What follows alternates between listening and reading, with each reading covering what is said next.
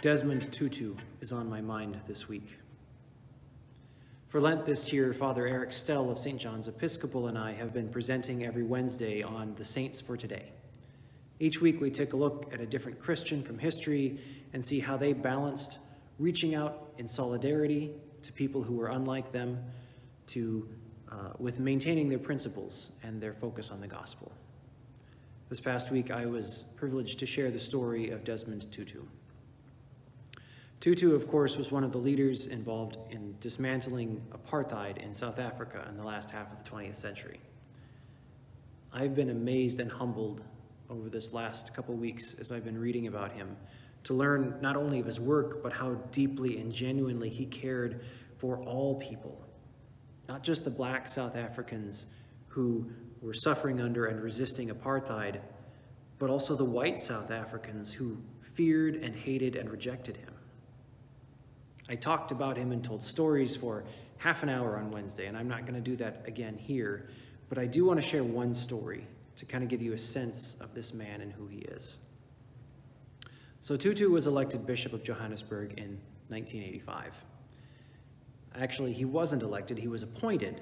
The General Assembly, whose job it was to elect the uh, bishop, couldn't make a decision. There was too much debate over his election. And so the election had to be referred to the Synod of Bishops who appointed him.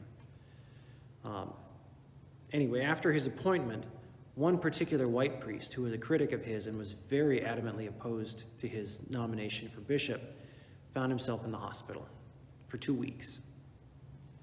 That man was surprised to find that on every single day of those two weeks, his new bishop called him out of genuine care for his well being to offer him support and pastoral care. That's the kind of man that Bishop Tutu is. But as amazing in that man and his life are, I find myself this week equally amazed by the very idea of apartheid. It seems so alien to me to have such deep seated and ingrained disdain for another human being, especially based on something so arbitrary as skin color or ethnicity. And yet, such prejudicial racism is real. So real, in fact, that there has been a day set aside every year, this day, March 21st, to acknowledge the toll that racism has taken on our world and to recommit ourselves to ending it. Although apartheid was an official government policy in South Africa, we in this country are, of course, no strangers to the idea. In America, we are still dealing with the aftermath of slavery and the lasting effects it continues to have on our national consciousness. As a nation, we have internalized those ideas and those experiences as a part of our social psyche. So much that uh, they affect how we treat not just people of African descent or the native inhabitants of this continent, but all people of color. Whether we agree with those ideas or are actively working against them, you have to admit they still shape, they are still an integral part of who we are today. They still shape who we are and what we're doing. I was appalled this week to come across a quote from Hendrik Verwoerd, the one-time Minister of Native Affairs in South Africa, who said, There is no place for the Bantu, which was a native tribe, there is no place for the Bantu in the European community above the level of certain forms of labor. What is the use of teaching a Bantu child mathematics when it cannot use it in practice? But I was equally appalled to read that Bishop Tutu himself had internalized these negative ideas about his own people. He recalls how once, when traveling on a Nigerian plane, he had this feeling, this nagging worry on discovering that both the pilot and the co pilot were black, the result of having been conditioned his whole life to think that only whites could be entrusted with such positions of responsibility. How terrible is that? To have these own ideas about your very own kinsmen. Racism has been ingrained in American culture almost from its very beginning. It's been called America's original sin. I wonder if today, I wonder today if we might also call it America's old covenant. We often talk about a covenant as a promise or an agreement or a contract, but there's such a thing as a social covenant too, the agreement or the pattern upon which our society is built. It might just as easily be described as a pattern or a paradigm, a framework that establishes how things are, how we operate. Racism is at the heart of our national paradigm, our national covenant. Our problem, a problem shared by much of the world at this point, exported and spread by European colonialism, in which America played a seminal part, is that although we ended the practice of slavery, we never changed the paradigm. After either escaping or being emancipated from slavery, the first hurdle that black Americans faced was the fact that they had nothing. No money, no property, no means to make a living, no family, no social connections to help them out. Everything was owned by white Americans. Folks, folks who managed to escape sometimes found a means of supporting themselves, sometimes uh, through the charity or uh, compassion of um, generous white folks. But after the end of the Civil War, the country had this glut of newly free, newly impoverished people with no means of supporting themselves. The solution, if you can call it that, that was found was sharecropping.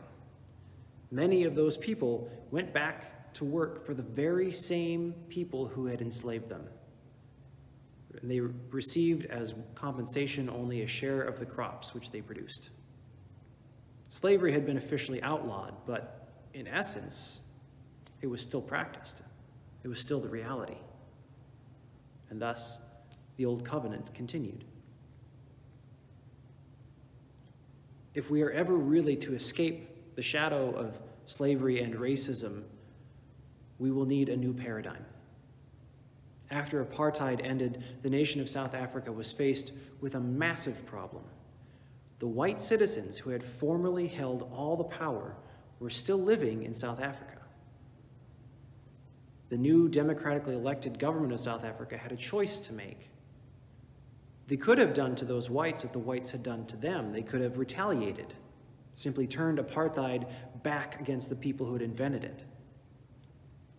Or they could have tried what America tried. They could have instituted some nominal laws and policies designed to protect freedoms and sort of um, shift the balance a little bit, and pretend everything was fine.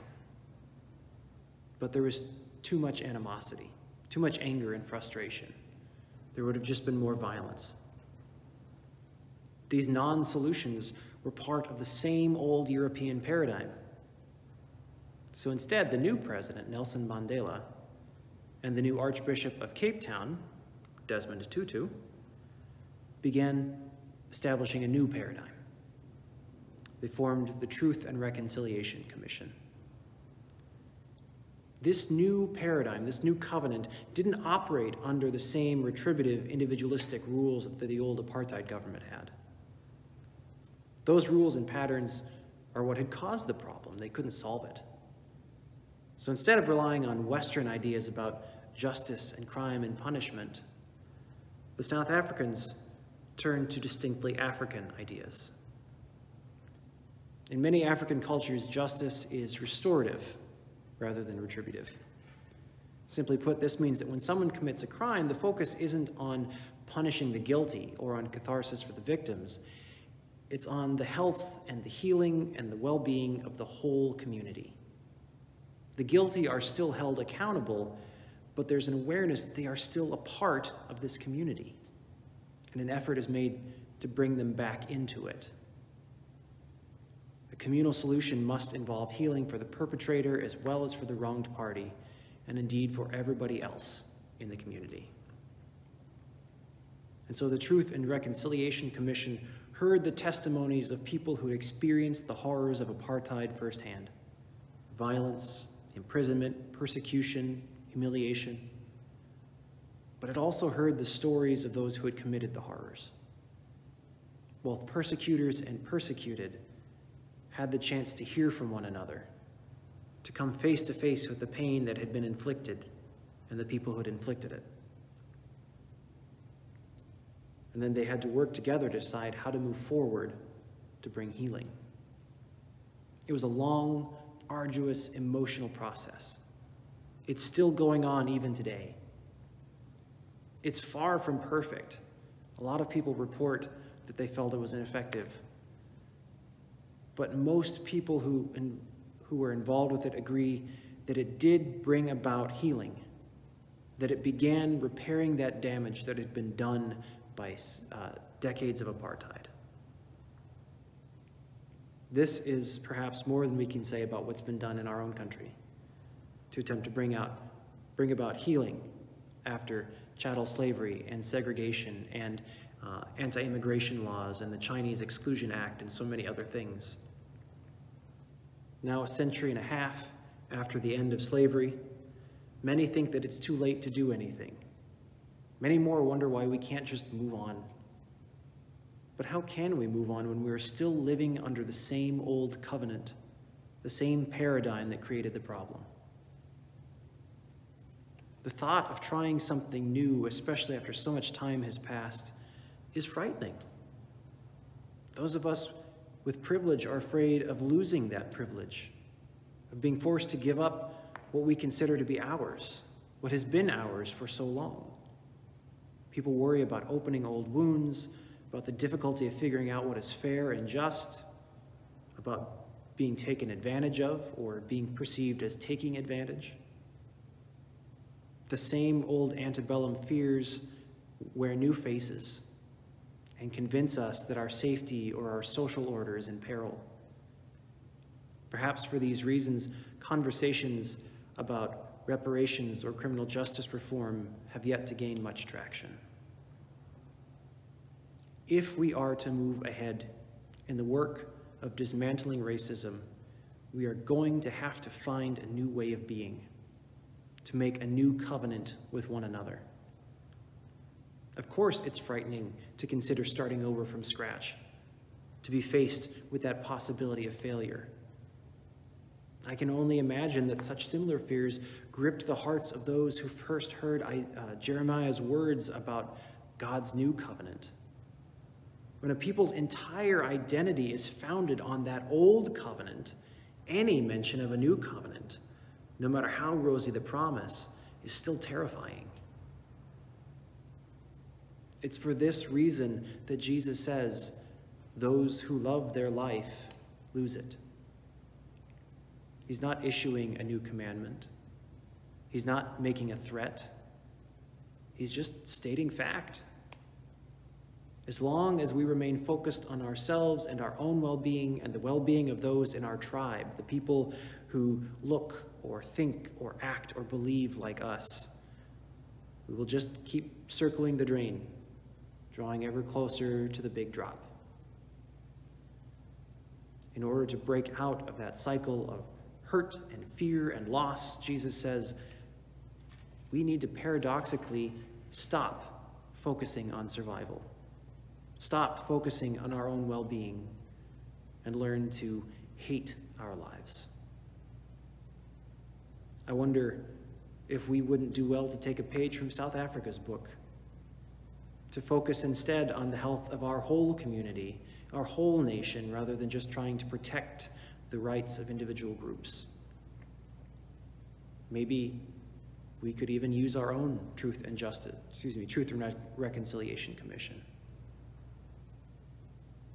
That kind of a letting go is tantamount to death. It's tantamount to throwing our lives away, to throwing away everything we hold dear and know to be effective. But Jesus reminds us that thanks to God's promise and God's presence, death is always a gateway to new life.